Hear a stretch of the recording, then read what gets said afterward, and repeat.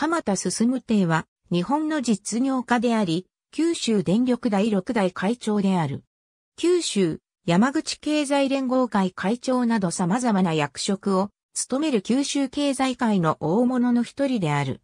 趣味は読書とゴルフ、ザウの名は弱者にも配慮した温かい志。2018年春の叙勲で朝日大受賞を受賞。鎌田進邸と松尾慎吾の間には真鍋俊当たる社長の就任ややらせメール事件後の対応で確執があったと言われる。福岡県北九州市出身。1941年に国民学校に入学。5年生の時に終戦を迎える。志望校であった福岡県立小倉高等学校は学区外であったが、学区内の全州の寺の小僧になり進学した。国語と数学が得意であった。1953年に福岡県立小倉高等学校を卒業。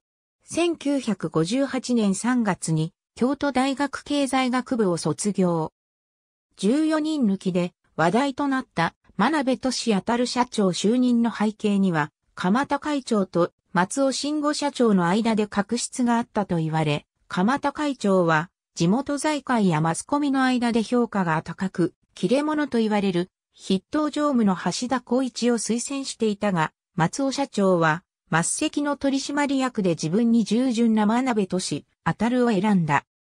また、やらせメール事件においても、鎌田相談役と松尾会長、真鍋社長の三者会談が開かれ、鎌田は、九州電力社内に、真鍋社長に対する不満が高まっていることを指摘して、案に辞任を迫ったが、松尾会長は、私には私の思いがあると鎌田の助言を突っぱねたと言われている。ありがとうございます。